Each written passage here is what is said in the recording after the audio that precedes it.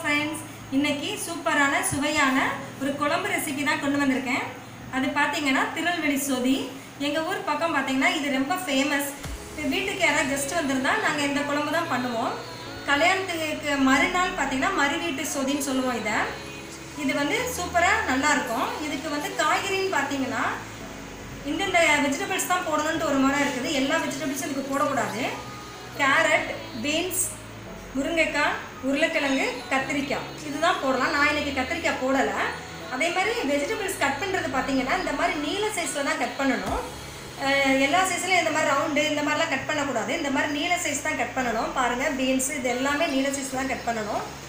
அப்புறம் இஞ்சி பூண்டு ரெண்டு பச்சை மிளகாய் அரைச்சி பேஸ்ட் பண்ணி வச்சுருக்கேன். இதுக்கு காரம்னு பார்த்தீங்கன்னா இது ரொம்ப காரசாரமாலாம் இருக்காது. கொஞ்சம் இதமான காரத்தில் தான் இருக்கும். இது ரெண்டு பச்சை மிளகாவும் இஞ்சி பூண்டும் பேஸ்ட் பண்ணி வச்சுருக்கேன். அப்புறம் நாலு பச்சை மிளகாய் ஒரு பத்து சின்ன வெங்காயம் வதக்கி சேர்த்துக்கணும். பச்சை மிளகாய் பார்த்தீங்கன்னா இந்த மாதிரி நடுவில் கீறி வச்சுக்கோங்க. அப்புறம் இறக்கி வச்சு ஹாஃப் லெவன் ஸ்பேஸ் பண்ணதுக்காக வச்சுருக்கேன். நான் வந்து இப்போ ரெண்டு தேங்காய் எடுத்து வச்சுருக்கேன். நான் இது வந்து நாலு பேருக்கு நான் செய்ய போகிறேன் அதனால் ரெண்டு தேங்காயில் பால் எடுத்து வச்சுருக்கேன். இது வந்து முதல் பால். இது வந்து ரெண்டாவது பால். நாலு பேருக்கு இது போதுங்க. சரி வாங்க எப்படி செய்யலான்னு பார்க்கலாம். ரெண்டு ஸ்பூன் சமையல் எண்ணெய் ஊற்றிருக்கேன் நீங்கள் என்ன எண்ணெய் யூஸ் பண்ணுறீங்களோ உங்கள் வீட்டில் அதை ஊற்றிக்கோங்க அப்புறம் ரெண்டு ஸ்பூன் நெய் ஊற்றிக்கோங்க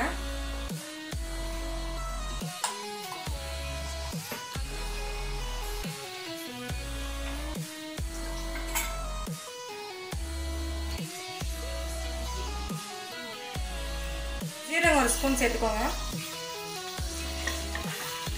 சீரகம் கருகிராம பார்த்துக்கோங்க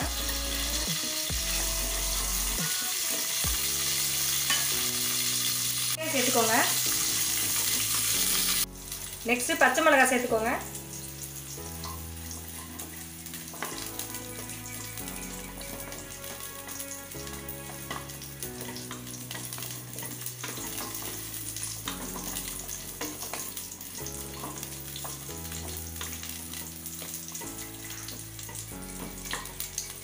நெக்ஸ்ட்டு இஞ்சி பூண்டு பேஸ்ட்டு சேர்க்குறேன்.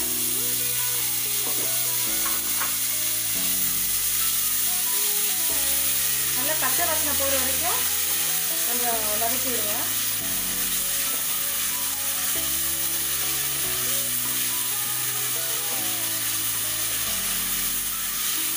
இப்போவே ஒரு வாசம் வருதுங்க. சூப்பரான வாசம் வருது. இப்போ காய்கறி ஒவ்வொன்றா சேர்த்துக்கலாம்.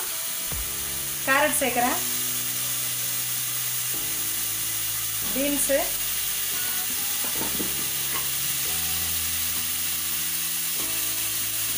உருளைக்கிழங்கு. வெஜிடபிள்ஸ்லாம் பார்த்தீங்கன்னா இப்போ நம்ம ரெண்டாவது பால் எடுத்து வச்சுருக்கோம்ல அதில் தான் வேக வைக்கணும். அதுதான் இதனுடைய ஸ்பெஷாலிட்டியே இப்போ ரெண்டாவது பாலை சேர்க்குறேன்.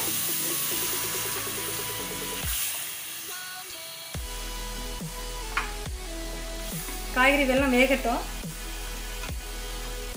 இதுக்கு வந்து மஞ்சள் தூள்லாம் சேர்க்கவே கூடாது. காயெல்லாம் நல்லா வெந்துட்டு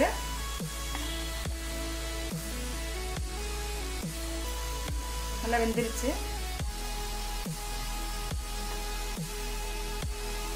இப்போ இந்த ஸ்டேஜில் நான் நாலு பேருக்கு நூறு சிறுபருப்பு எடுத்து வேக வச்சு வச்சுருக்கேன்.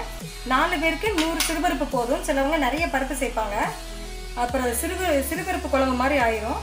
சிறுபருப்பை இந்த மாதிரி வேக வச்சு எடுத்து வச்சுருக்கேன். அதை இப்போ இதோட சேர்த்துருவேன்.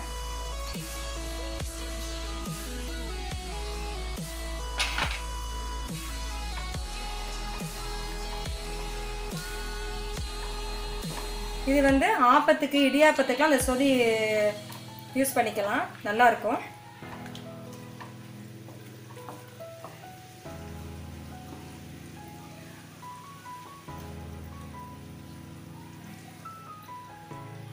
இப்போ நான் ஃபஸ்ட்டு பாலை சேர்த்துருந்தேன் ஃபஸ்ட்டு பால் சேர்க்கும்போது அடுப்பு வந்து சிம்மில் இருக்கட்டும்.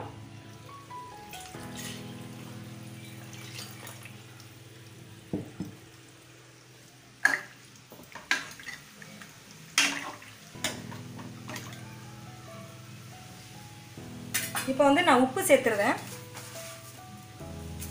தேவையான அளவு உப்பு சேர்த்துக்கோங்க.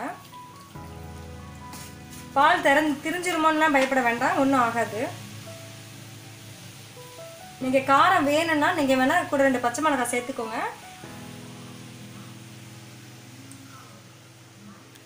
இப்போ ஃபஸ்ட்டு பாலை ஊற்றி ஒரு அஞ்சு நிமிஷம் அடுப்பில் வச்சு ஸ்டவ் ஆஃப் பண்ணிவிடுங்க இப்போ சொதி ரெடி ஆயிடுச்சுங்க. ஃபஸ்ட்டு பால் ஊற்றி ரொம்ப நேரம் கொதிக்க விட்டுறக்கூடாது. இந்த குழந்தைய வந்து கொதிக்க விடக்கூடாது. அஞ்சு நிமிஷம் கழித்து ஃபஸ்ட்டு பால் ஊற்றி அஞ்சு நிமிஷம் கழித்து ஸ்டவ் ஆஃப் பண்ணிவிடுங்க இப்போ வந்து தாளிக்கலாம். இப்போ வந்து இது சூடு ஆறுனதுக்கப்புறம் இறக்கி வச்சு ஹாஃப் லெமன் வந்து பிழிஞ்சு விட்டுக்கோங்க. இப்போ நான் தாளிக்க போகிறேன் பாருங்க கடுகு உளுந்தம்பருப்பு இந்த மாதிரி காஞ்ச மிளகாய் ரெண்டு எடுத்துக்கோங்க. கருவேப்பிலை இது எல்லாத்தையும் தாளித்து ஊற்றிக்கோங்க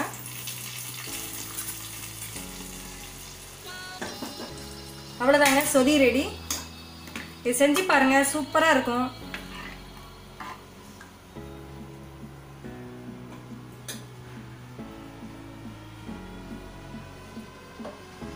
பார்க்கறதுக்கே சூப்பராக இருக்குது பாருங்கள் நல்ல நல்ல மனமாகவும் இருக்குது. நல்ல ஒரு வாசம் வருது. இது தேங்காய் பால்னாலே பொதுவாக எல்லாருக்குமே ரொம்ப பிடிக்கும். அது தேங்காய் பால் குழம்புனா கேட்கவே வேண்டாம். சின்ன குழந்தைங்கள்லேருந்து பெரிய ஆட்கள் வரைக்கும் இதை விரும்பி சாப்பிடுவாங்க. ரெண்டாவது இது எப்படி சாப்பிடணும்னா இது வந்து நிறைய ஊற்றி சாப்பிடணும். ஆஃப் லெமன் இந்த மாதிரி ஸ்க்யூஸ் பண்ணிக்கோங்க. இது எப்போவுமே வந்து கீழே இறக்கி வச்சு கொஞ்சம் சூடு ஆறுனதுக்கு அப்புறம் தான் இந்த மாதிரி பண்ணணும்.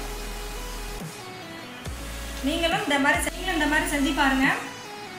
எல்லாரும் இதை சாப்பிட்டு மறுபடியும் மறுபடியும் அவங்க செய்ய சொல்லி கேட்பாங்க. சரி செஞ்சு பார்த்துட்டு உங்கள் கமெண்ட்ஸ் எல்லாம் சொல்லுங்கள் வாழ்க வளமுடன்.